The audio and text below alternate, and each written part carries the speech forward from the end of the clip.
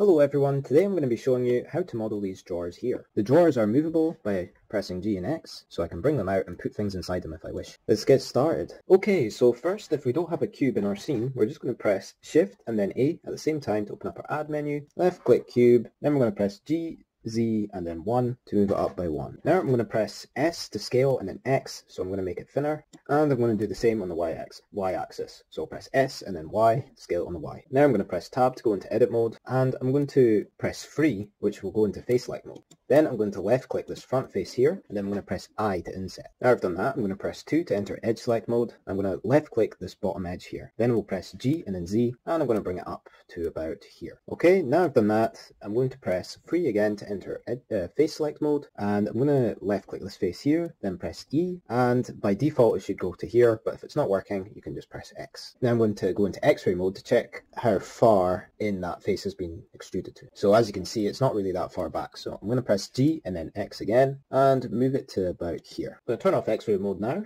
and, and now we've done this I'm going to give you your quick save reminder so just press control and then S and you can just call it drawers.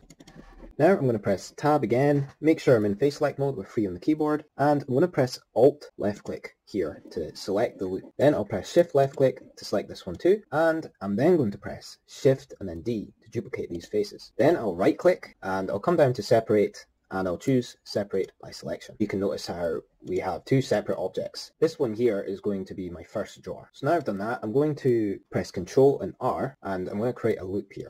But I don't want to have just one loop, I want to have two. That way it's now split into thirds. Awesome. So now I've done that, I'm going to press free, then I'm going to press Alt left click here to select these loop, this loop here. Then I'll press Shift Alt left click to select another loop, then Shift left click to select this bottom face, and then I'm going to press X and then delete faces. Now I've done that, I'm going to press 1 on the keyboard to go into vertex select mode, and I'm going to left click that vertex and then shift left click this one and then press F to join them together. Now I'll press Alt left click to select this loop and I'll press F again and fill that in. Now, as you guys can probably see, when I'm going into edit mode and editing things, you can see that it's having quite a bit of uh, a weird reaction with the outside of the drawer. And there usually is a tiny gap around um, a drawer in a real drawer. So I'm going to go ahead and scale this a little bit, just a very tiny bit. So I'll press S and then and then Y and just a very tiny bit there. So as you can see, it's um, been scaled down by like 0.1. Might want to change that to about 0.99. Now I'm going to go into tab into edit mode, press 3, and I'm just going to pull this face down a very, very tiny bit. So press G and then Z if it's selected. We'll try and make it about the same there. There we go. Then I'm going to left click this back face, um, turn on my x-ray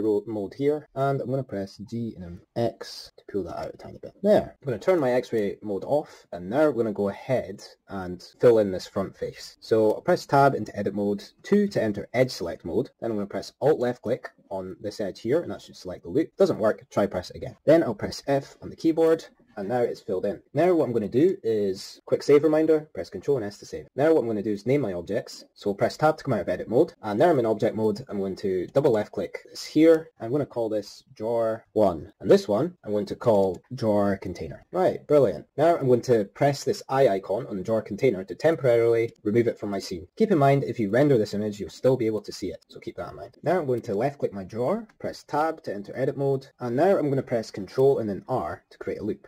I'm going to move this loop up to here. This is going to be the kind of front of my drawer. Now I'm going to need to create a square, and you guys will see in a minute why I've not just insetted this. So I'm going to create another loop here, and I'm going to try and get it so it's roughly the same size. There we go. Then again, the other way.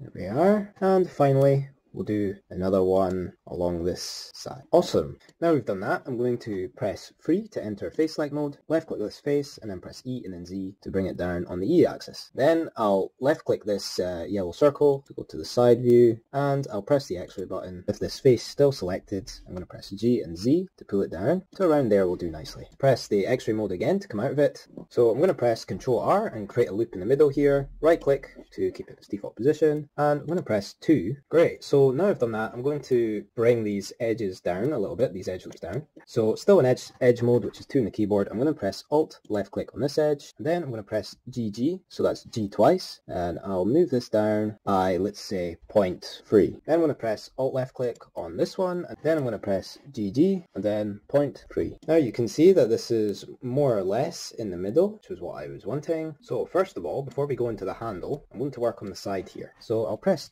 3 on the keyboard to enter face select mode. Left click this face and then shift left click this one and then I'm going to press E and then you can extrude on that axis there. Now as you can see I want to join up that edge to this one here so to do that I'm going to press 1 on the keyboard make sure I've still got that face selected and I'm going to come down to tool and here we have auto merge which what this does is merges the vertices together. So now all we need to do is press G and Y and that will move it on that axis again. I'm going to try line them up and see that these uh, vertices are now connected. Perfect. Now I've done that I'm just going to press 3 again to enter face select mode, left click this face and then press X and then faces. And now you can see we've got a nice cut. Now we're just going to do the other side, so we'll press 3 on the keyboard, left click this face, left click this, shift left click this face, then I'm going to press E and by default it will go there and then I'm going to press 1 on the keyboard just so I can see the vertices here and I'm just going to press G and Y and try and move them and connect them up. Might take a bit of trial and error. There we go. And now you can see they're connected. Now I'll press 3 on the keyboard, left click this face and press X, faces, and now we've got a nice symmetrical cut. Finally, for this drawer, we're going to press Control R, left click in the middle here, and we're going to change the number of cuts to 2, and that'll give us a nice shape here.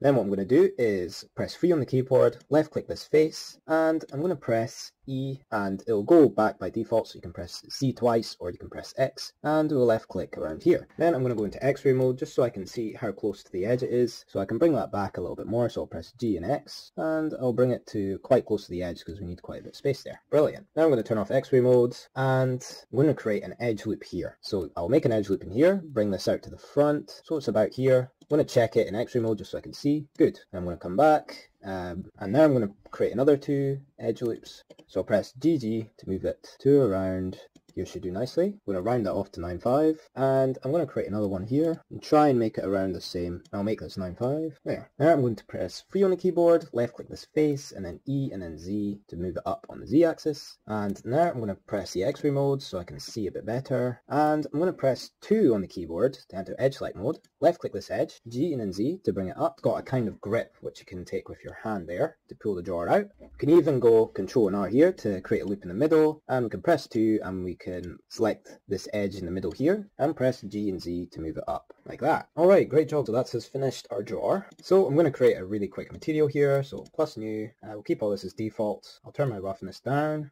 Now I'm going to want to make the inside of the drawer a different color. Um, this is just personal preference. You don't have to do this. So I'm going to create another material. Then I'm going to make the color a little bit more gray, around here. Then I'll press tab. First I'm going to left the, this space here to make sure I'm not selecting anything. Then I'll press alt left click, select this edge loop, then shift alt left click, select this one. And now I'm just going to press shift and then drag this to select all these. Make sure you're not in x-ray mode because you might select faces you don't want to select. Shift left click this face here. Then I'm going to press shift and then drag, select those as well. Then shift and drag.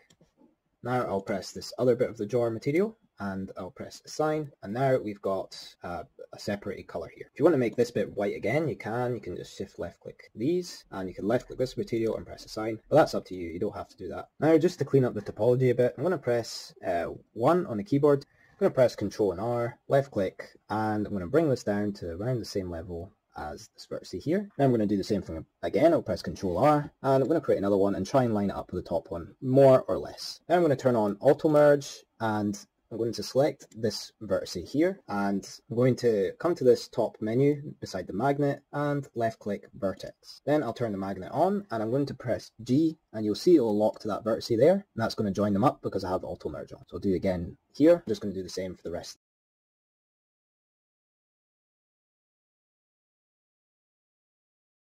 So now it's all joined up, our topology will be much nicer. So now you can see when I left click this vertex here, I'll turn off this magnet mode and move this. It's all joined up. Awesome, so that's us finish this drawer. Now if you really want to, you can create some edge loops here and pull the sides out to create the, the protrusion to go in here. But I personally am not going to do that because I want to keep this tutorial nice and short. But the skills you've learned in this tutorial should be more than enough for you to do that yourself if you're wanting to do that. Now I'm going to turn my drawer back on and we're going to go ahead and first of all assign a material to this drawer. So I'm going to press plus new and I'm just going to select my front of drawer material again. Then I'm going to left click this drawer here, press control A. I'm going to apply the location and then what I'm going to do is press shift and then D and this will duplicate it. And then what I could do is press G, Z and then 0.5 and you can see it's gone up so I'll just press minus and then press G and then Z to pull it down until there's like a tiny gap there. Perfect. Now if you wanted to save the amount of processing power that this file needs, you could also press Alt and D, and this will duplicate the object, but the object will be linked. So I'll show you what I mean by that. First of all, I'm going to move it down, so I'll press G and then Z, and I'll go for 0.5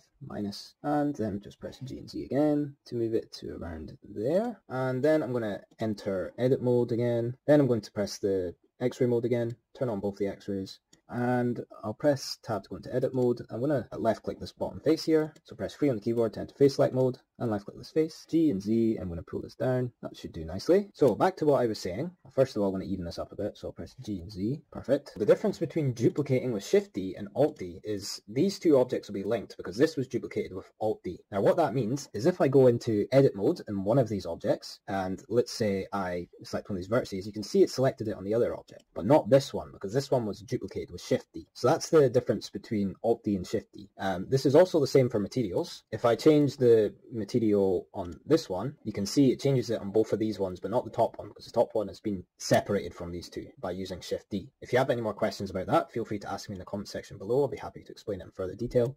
But as you guys can now see, we have now finished our drawer. Now if we want to move one of our drawers out, we can just left click it and then press G and X. And now you can see we've pulled the drawer out. You can also change the material of this. I might change it to the other bit of the drawer. Now it's this kind of nice uh, white and grey contrast. I might even make the grey a little bit darker and you can even add a bit of colour to it if you wish. But I'm going to keep it colourless by turning the saturation to zero. Might actually make it a little bit darker. That should do nicely. And I'm going to turn on this other bit of the drawer material, I'm going to turn the roughness down. That will make it a little bit more reflective. And there we have it guys, there's our drawers.